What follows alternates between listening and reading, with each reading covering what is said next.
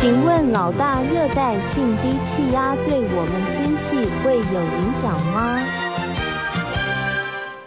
好的，我们从这个啊气象局所发布的这一个浅色预测图呢，啊可以看到啊，在下午两点的时候啊，在台湾的东方啊有一个热带性低气压啊形成了，它未来的这一个方向主要是向西北啊，朝着台湾东北方的海面来前进。那由于呢啊，它这一个所遭遇到的环境是垂直的风切很强。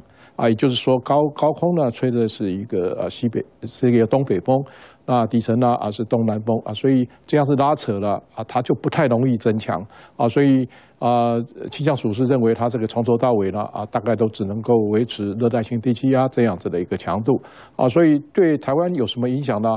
啊，由于它强度弱，离得又远啊，不过呢，它对于明天开始台湾附近的水汽多啊，容易下雨的情形呢？北台湾的雨啊，这个很可能就会啊，在晚上还会持续的啊，这个继续下下去。那我们从这一个啊地面的这一个降雨的这个模拟呢啊，就可以看到啊，这是。到明天晚上八点的这一个模拟图，我们可以看到南边的水汽很多啊，所以啊，在台湾呢啊，就是呃跟今天很类似的啊，就是啊很容易里面会有一些啊剧烈天气啊，这个大雷雨啊啊，甚至于豪雨的发生。那而且这个雨呢还是一样是从南边啊往北来扩展。啊，因为呢，可以看到北边有一个啊，这个雨带呢，这个就跟热带性低气压有关系。也就是说啊，明天晚上啊，这个雨呢可能会持续下去。那之后呢，礼拜六、礼拜礼拜天跟礼拜一呢，啊，这个雨带就会笼罩这个台湾上空了。啊，所以啊，礼拜天跟礼拜一呢是啊，这个雨最多的一段时间。一样的，要注意的是里面的大雷雨跟这个呃局部性的豪雨。那到了下下周二之后呢，啊，这个雨带就会往北稍微啊北抬了啊，不过天气还是不稳定的。那我们从这个下午的这个啊这一个卫星云图可以看到啊，这个强对流呢啊，在下午这一段时间是在中部啊，这是张张云家啊这一带呢是最强的啊，那你可以看到它高层的云呢啊就往这个海面上来飘散了。那我们从这个雷达回波呢，还是可以看到啊这边比较强的对流啊都在这里消消长长的啊。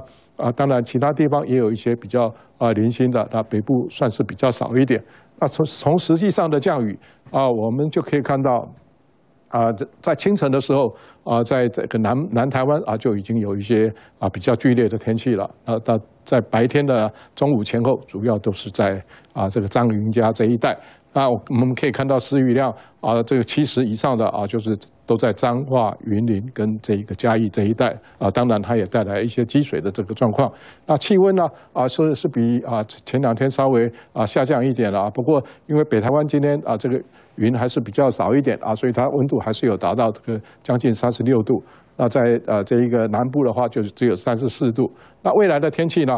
啊，我们从这一个啊订单降雨预报可以看出来啊，就明天就。从清晨开始啊，就比较容易下雨了。啊，到了啊白天的时候，这个雨区就会扩大。那晚上呢，这个北台湾的雨还不见得会停得下来。那未来的天气呢？啊，从礼拜天、礼拜一这两天呢，啊，就是这一个啊低压的雨带啊都在台湾上空。那在啊礼拜二的时候，这个雨带稍微北台，天气还是不稳定。我们来看一下啊这个气温的情形呢。啊，未来。啊，这个明天呢，啊，也许感觉上还比较热一点，那之后啊，就有机会啊，这个就是啊，气温比较下降一点啊，这个是啊，跟这个上跟这个礼拜来讲的话啊，算是温度啊有比较明显的下降了。